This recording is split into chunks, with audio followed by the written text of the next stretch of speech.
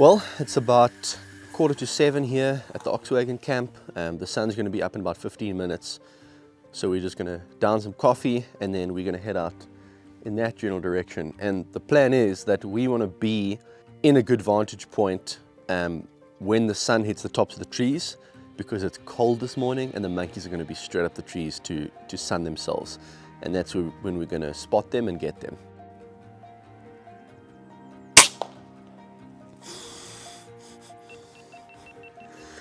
And that's how you deal with the rock pigeon problem.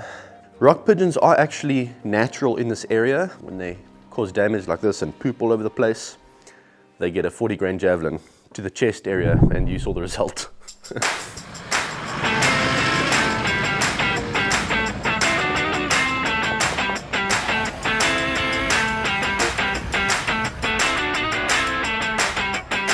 We head out up a river valley, keeping a sharp eye out for monkeys, and although we do spot a troop early on, getting a clear shot is a different challenge altogether. I think those monkeys just outsmarted us. We saw a few of them just ducking here under one of the trees. Thought we'd go after them on foot. But yeah, on foot trying to sneak into a monkey, there's no ways that I, I would I would beat them in that, that sort of competition. so I think we need to wait until the sun hits these trees and then we can see them from further away maybe get a longer shot of the 22-250 or the 260.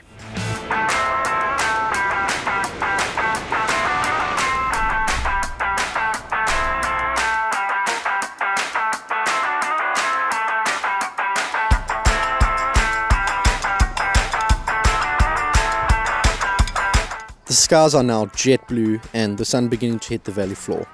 Although we haven't managed to get anything down yet, we're pretty confident that that will change shortly as we pull up to a cliffside and bring out the Panthera in the hope to ambush a Dassie on the rocks. This setup had proven itself in the Baviaanskloof as an awesome tool for Dassie hunting, and as we glass for movement ahead, we know that it's very capable of doing the job, even from around 100 yards and beyond.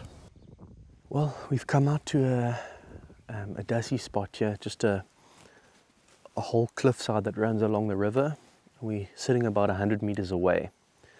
Um, I've set up with the Panthera because this gun on this tripod gives us a nice stable shooting position, but it's still quite early in the morning. The sun hasn't hit the rocks yet, so we're not expecting anything to come out very quickly.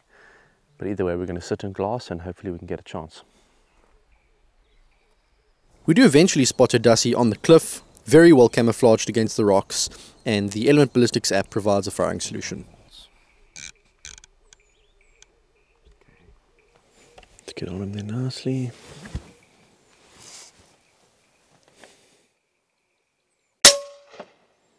Dead.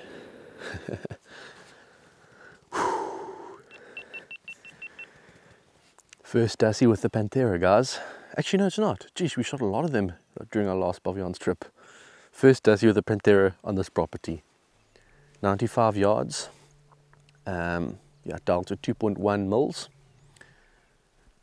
Put the crosses on his head and dropped him on the spot. Um, it's those first round hits that matter. Um, someone commented on my channel the other day and and said, "Hey, why am I not using like, you know, why are we still using 30 cal pellets for bench?" Um, and I kind of said, "Well, it's a little bit different because you've got SATA targets. It doesn't matter that much if you've got a lot of wind drift as long as you can, as long as it's predictable. First round hits here uh, is the only thing that matter. You don't get a sighted target, so you've got to dial and you've got to shoot. Thankfully, there's no wind right now, so I didn't have to hold for wind. I just had to check my check my levels, dial to elevation, hold still, and, and pull the trigger. And this gun with those just those two little baffles on the end is surprisingly quiet. Like there's really no need for adding a longer silencer, which is actually pretty insane, but great to get that one down. With big areas of cliffside on display in this particular valley and the potential for dassies to show up on any of them, we spend a good amount of time in silence just glassing around. But with the day growing older by the minute, we eventually decide to move on to more important things. And I'm glad we did, because just around the corner, our old friend, the Grey Menace, the Vervet Monkeys, just begging for lead.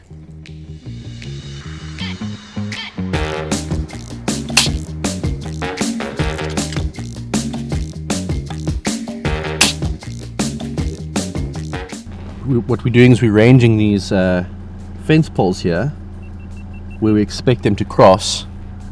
And then, you know, if they go a bit further, we've got to, I've got to hold over. If they come a bit closer, I've got to hold under. But yeah, I'd range it 100, 105 meters, something like that. So 1.9 mils, or 105 yards rather, 1.9 mils. He was obviously slightly further, maybe 110. But got him on that second shot for sure.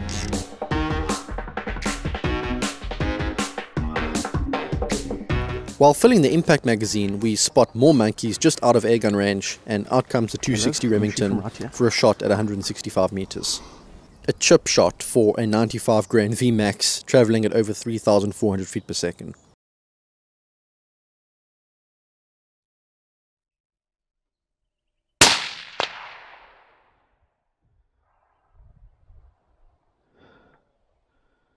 Got him.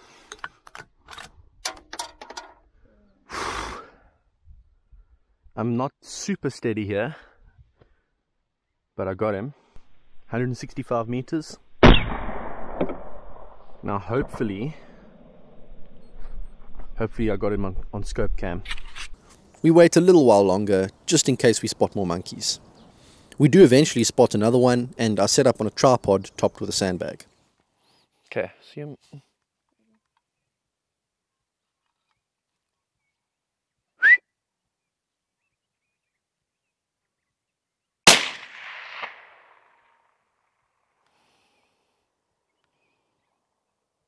Can't tell.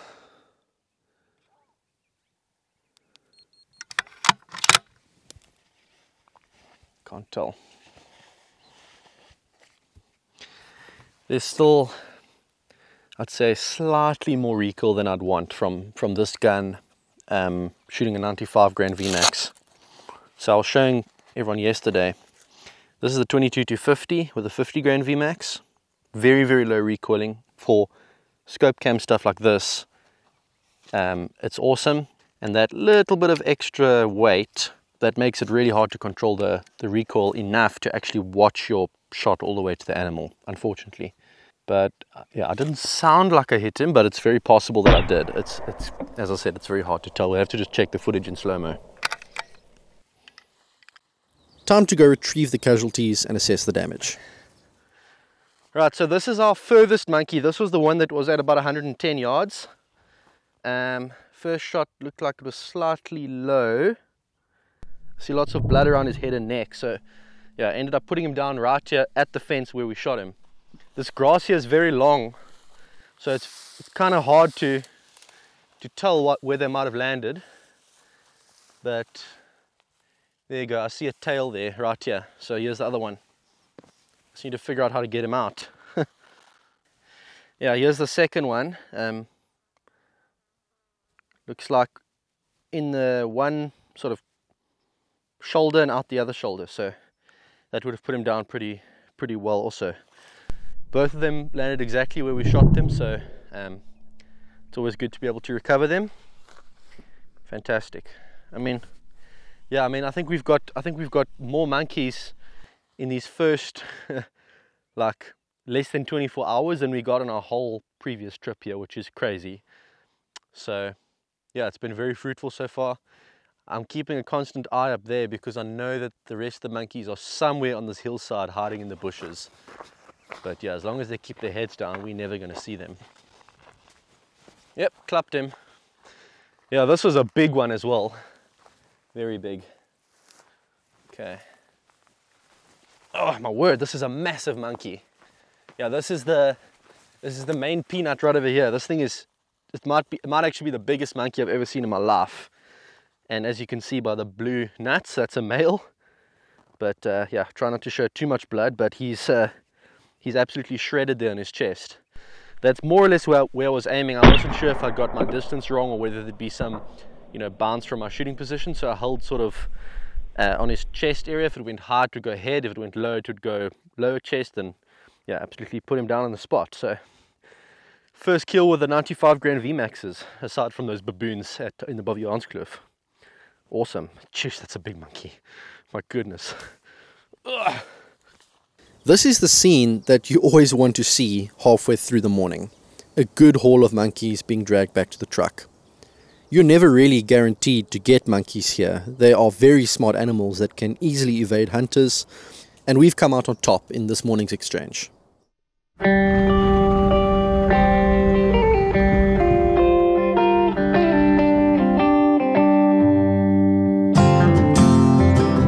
Much of our success over the last few Oxwagon Diary seasons has come from the cultivated lands of the farm next door. During the drier parts of the year, when there's less natural food available for the monkeys to forage, they make their way down to these fields and raid the crops. Much of this land is grass and lucerne, grazing areas for cows and sheep, but in between lie a few cornfields, and the monkeys and baboons can do some proper damage here if not kept under control. While driving past one of these fields, we spot a few baboons running out from between the corn and up a mountain. One stops momentarily on a rock, and I rush the shot, just missing to the right. I reload and manage to take this one on the run. Not a perfect shot, but with a 95 grain VMAX at blitzing speeds, he doesn't last long at all and topples over about 100 yards from where he was hit. Wow, that happened quickly. Baboons, 270 yards away, um, yeah, they started running up the hill the moment we stopped. Um, first one I took a shot at, I missed. It's not a very stable position here. I had to like lift this bag up a bit to, to get stable. And then the second one, uh, I had to shoot on the run. And I think I, I well, I definitely got a piece of him because I saw him running away with a big hole in his side. So he, he went down just behind a tree there. It's a bit too far for us to go and retrieve him, but um, yeah, good to get a baboon down. Awesome stuff. I spot another monkey trying to run away after raiding a cornfield, and I just hesitate a little bit too long on this one. Well, the wind suddenly picked up like crazy. You won't hear it because I've got my fluffy mark on, but you can see my wind indicator here. Uh, it's pumping. We switched the 22-250 because the 260 from a scope cam footage perspective just wasn't, it was just moving a bit too much to actually see the bullet hit the animal. Um, and we almost got a really cool opportunity here. We, we drove past, we saw some monkeys on a sitting on a well in this in this field over here, eating from the field, and uh, pulled off. I climbed up this hill, I plonked a sandbag on the on the on the pole here, and as I was just getting focused on the monkeys, they were sitting on a fence pole, and then they saw me and ran. I mean, they're so used to being shot at here, so yeah, we just took a bit too long. That's just the way things go, but hopefully we can get another chance.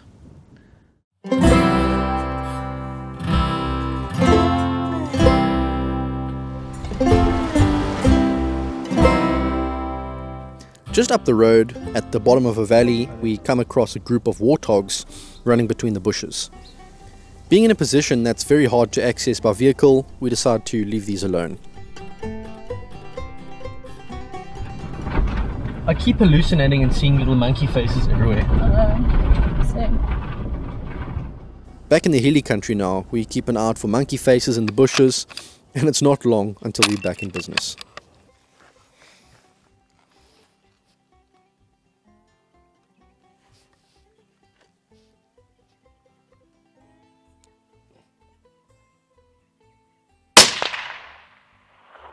Smoked him.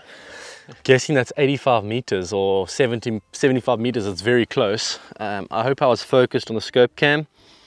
Forgot how much I, I missed this. Thought that 260 could maybe replace it, but nope. I definitely like this gun more for stuff like this.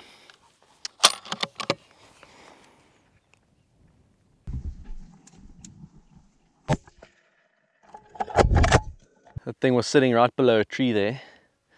Um, yeah, managed to put him down with the 22-250. So finally we're getting some action with this rifle. Wasn't actually planning to, this was supposed to be my backup gun. But yeah, it's good to good to see it not just sitting in the safe all year and getting no action. Uh, it's being put to good use today. Oh, he did. Another male. Another pretty big male see where I hit him here. Yeah, took out, took out basically this whole left shoulder of his. I won't show that too much on camera, but there you go, big male monkey, 22-250, doing the business. We've actually got an animal with each of our guns, if you think about it. We've got monkeys with the impact. We got monkeys with the 260, monkeys with the 22-250, and a Dassie with the Panthera. So I think it's still only 11 o'clock or something. So in one morning we've done all of that, which is awesome. But yeah, good to get this one down. And uh, I know there's some more in this area, so let's keep an eye out on the way out.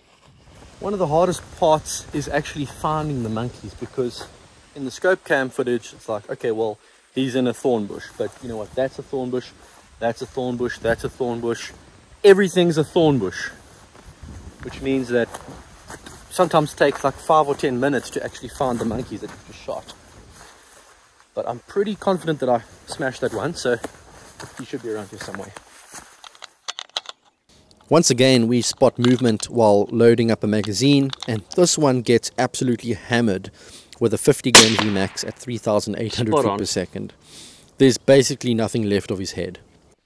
Yeah, I give up on this. I mean, checked a lot of these bushes, can't find any monkeys. Could be sitting right on top, stuck in the in, in the actual bush, in which case we just won't see him. So I think let's give the hunting a bit of a pause for now. Let's go make some lunch somewhere and we'll take it from there.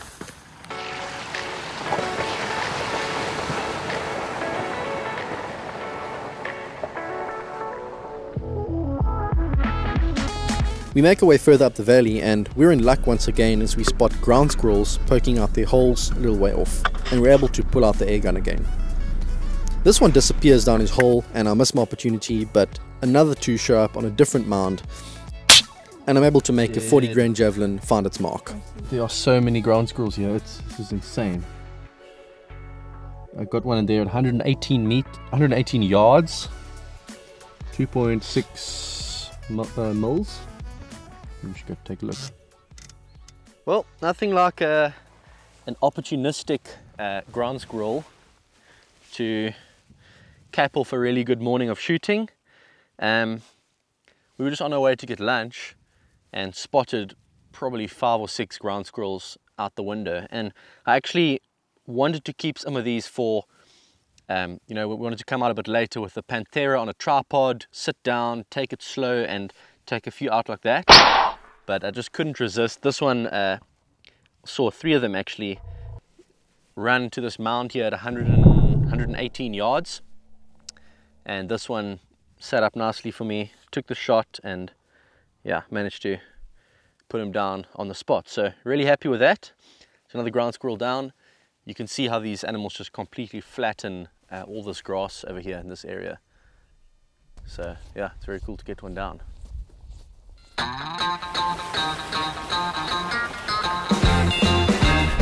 Okay, so the plan is now we're gonna go.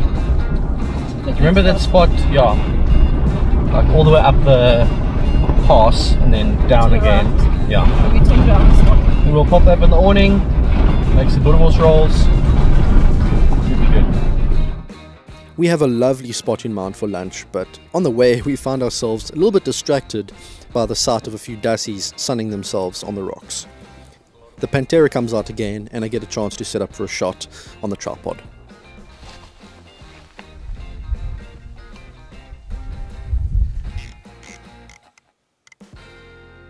3.3 mils is the elevation that I'm getting. I'm just trying to figure out what to do about the wind because it's I'm going to wait till it's calming down a bit like right now there's a bit of a lull.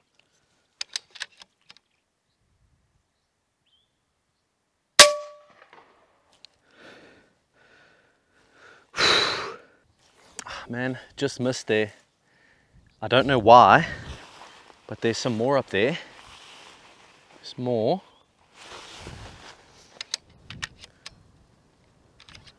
yeah, now the wind's picking up. I don't, I'm gonna hold half a mil. Mm-mm. Uh, I think we just got outsmarted by the wind there. Took two shots, heard both of them ricochet off the rocks. The wind picked up as I started shooting there, like it's probably six or seven miles per hour now, but through this valley it's very hard to tell what it's actually doing.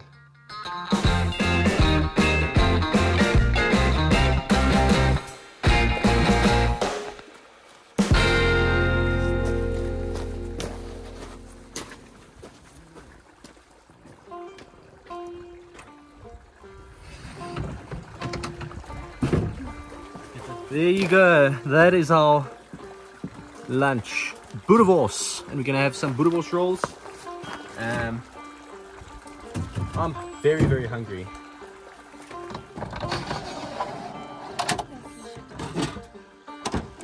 These lunch stops out in the bush have become a regular thing since we kitted out our bakkie a few years ago, and it's awesome to be able to kind of make our own shade, keep food in a fridge, and to have a little touch of convenience and comfort while still being able to enjoy the magnificent scenery around us.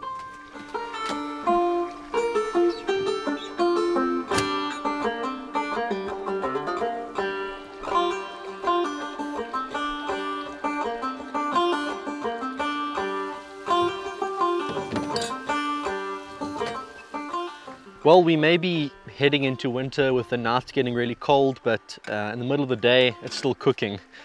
So, being able to come out here to a nice quiet spot, put the awning out to get some shade, park off by river, we can soak our feet in the cold water and make some lunch is exactly what we need to kind of just get away from the action of hunting and just chill for a bit.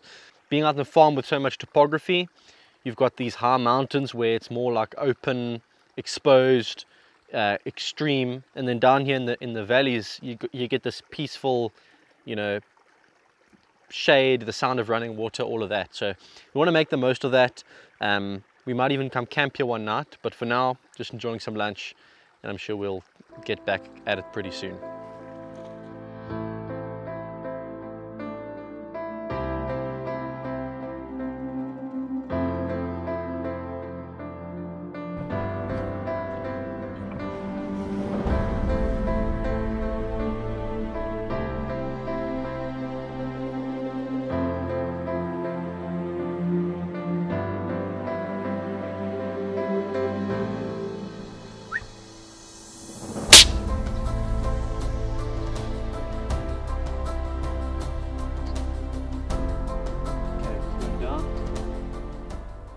Actually, wasn't a great shot.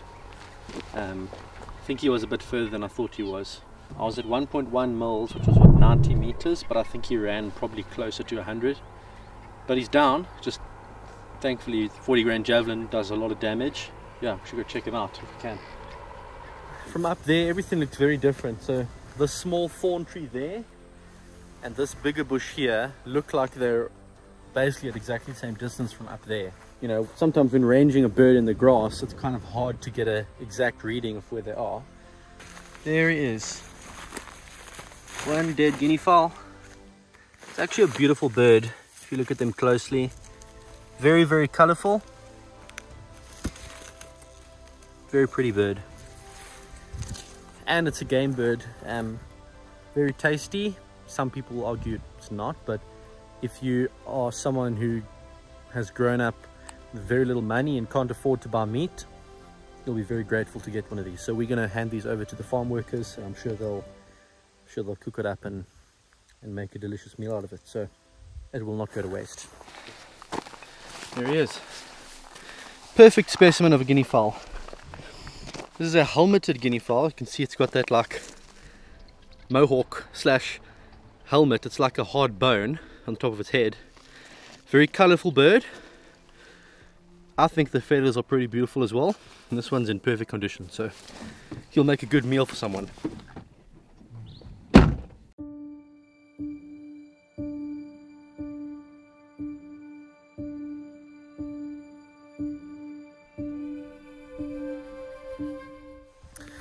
Well, it's turned out to be a wonderful evening here at the camp. There's kind of ominous signs that uh, we're going to have some rough weather coming over the next couple days. But for now, a bit of uh, dark skies won't harm us. We've got Anton Senior and Anton Junior coming over later. Not sure if they'll stay for dinner or not, but um, yeah, Anton's going to be joining us uh, for the next couple days hunting, which is great because yeah, we get to hang out again after a long time. And he's also got a lot of, um, he knows a lot of spots that we might not know and has have connections to neighboring farms. So it'll be good to see them tonight. But for now, we just had a bit of a nap in the ox wagons to, to kind of cool off a bit. It's been a long, busy day. Got a lot of action today. Um, but I think it's time to make some coffee, maybe get the fire going, get some views of this magnificent sunset, which I think is going to be pretty uh, pretty pretty tonight, and um, just wind down and soak it all in once again.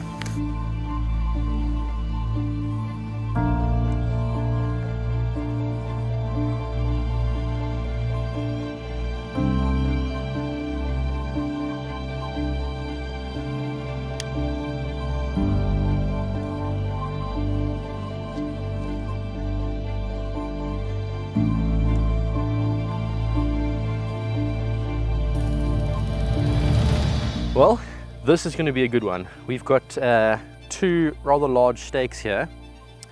The bigger one is labeled a man-sized steak, so I guess that one's going to be mine. But we've uh, spiced them a few hours ago. Mmm, hear that sizzle. Mmm. Few minutes and these babies will be done, and we can go inside and enjoy them.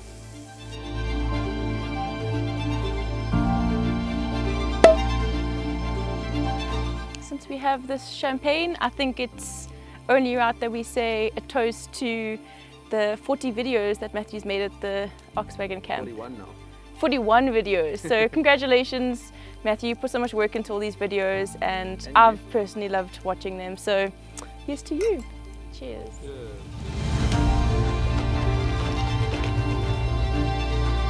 Once more, we spend the night in these old ox wagons beneath a much older sky full of stars and dream about what tomorrow's hunting might bring.